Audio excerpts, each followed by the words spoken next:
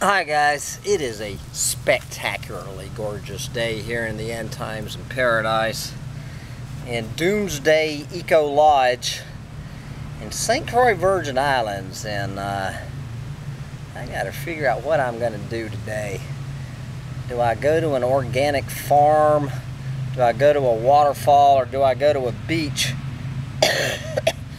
but before I go, I was going to take the day off today on this absolutely gorgeous Saturday, January 24th, 2015.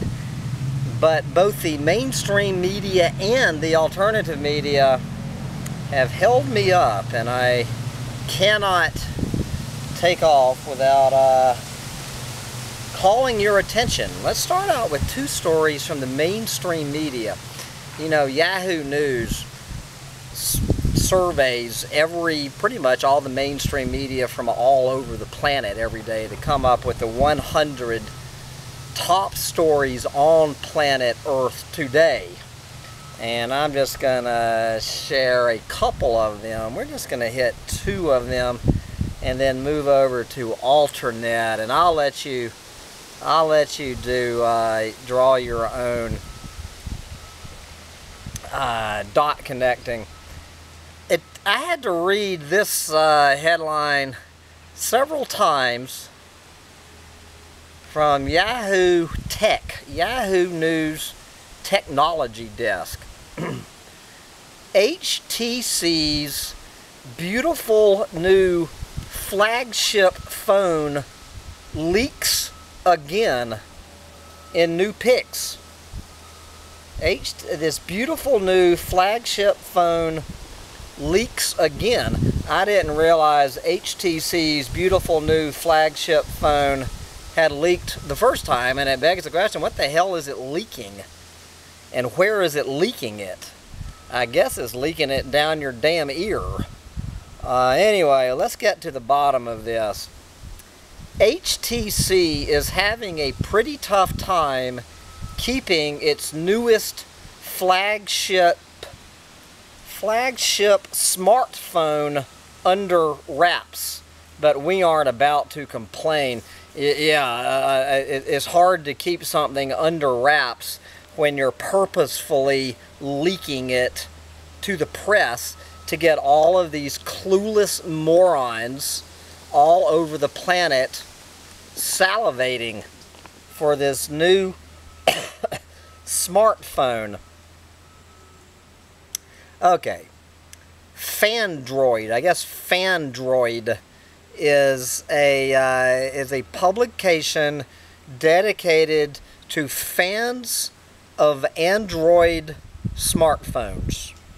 Fans of Android smartphones have their own publication now where they can flip through pictures and I guess get a goddamn hard on looking at new photos of new Android phones. When you get tired of Penthouse and Playboy, put down your Penthouse, pick up your Phandroid, and go into a smartphone fantasy. okay, so Phandroid has posted the latest batch of leaked HTC One M9 photos and they pretty much confirm a lot of what we have already seen about the device. As you can see, the device really looks very similar to last year's HTC One M8 with one key difference. One key difference. The shape of the camera on the back of the phone is more of a square, while the camera on both the M8 and the M7 were both circles. You heard it here. You heard it here don't say that Hambone Littletail never never shares with you what's really important on this planet. In, in case you did not hear me, I'm going to repeat this last uh, this last sentence, which is the highlight of the article. As you can see, the device really looks very similar to last year's HTC One M8 with one key difference. The shape of the camera on the back of the phone is more of a square, while the camera on both the M8 and the M7 were both circles. Now, does it mention the price tag? Uh, no, I don't see. I guess you're gonna have to do a little more research. But, uh, anyway, that was one of the top 100 biggest stories on the planet is the shape of the camera on the HTC phone has gone from a circle to a square. But you can forget all about that phone because next to that article, this is the Samsung Galaxy S6 unpacked. All right. Samsung's Galaxy S5 was a monster flagship, except we've been able to put together everything you need to know about Samsung's upcoming Galaxy S6 and it is shaping up to be the most, the most amazing phone we have ever heard of. From a CPU that is 50% faster to an incredible quad HD display, Samsung hit every angle with this year's flagship phone. It will also have a payment feature which works with magnetic and NFC terminals. Incredible cameras does not say whether the camera is square or circular, and a gorgeous glass and metal body. There you go. The gorgeous glass and metal body. I want one immediately! Exclamation point. There you go. Okay, so that was the mainstream media talking about smartphones. So this next article, nowhere showing up on Yahoo News is top 100 stories on the planet. I had to go over to alternet.org to find this one. Newest uh, news flash from, from Edward Snowden. iPhones have secret spyware that lets governments monitor unsuspecting users. the NSA, the NSA whistleblowers lawyer says the secret software can be remotely activated to watch the user. that, that is one bored spy watching someone talking on a phone. Okay.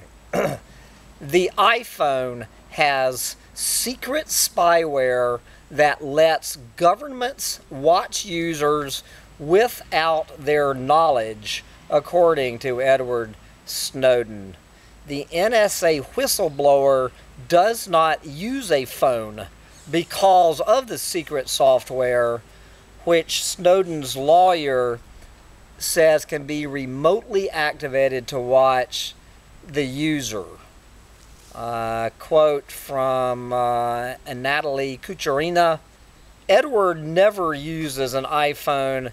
He's got a simple phone the iPhone has special software that can activate itself without the owner having to press a button. and gather, meaning the phone, gather information about him. That's why, on security grounds, he refuses to have this phone. And then uh, I, I don't know what uh, this is talking about. It said that Apple has been active in making the iPhone harder for security services to spy on. Uh, I, I, I don't know. Uh, what? How could. I, I, I, admit this Luddite has no idea. I, I mean, Apple would have had to know goddamn well that they were putting something in there that these government spies could activate. I'm not quite ready to bring out the bullshit button, detector button. Uh, they're claiming that Apple is trying to uh, fix this problem.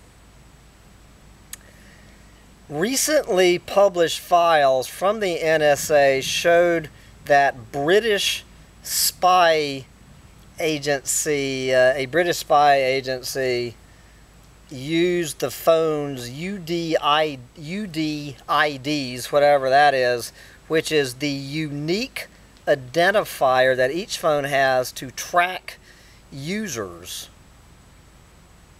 There you go. Snowden opts not to use the phone for professional reasons. Yes.